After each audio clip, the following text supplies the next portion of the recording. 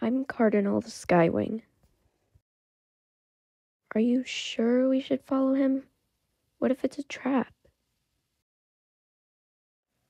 Okay, I'll keep an eye out.